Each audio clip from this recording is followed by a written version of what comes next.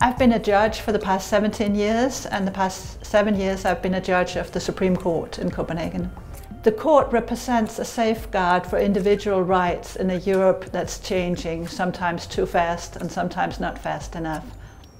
Well, it's impossible to pick just one, so I picked two very different cases. One is Marckx versus Belgium from 1979, guaranteeing equal rights for children born out of wedlock.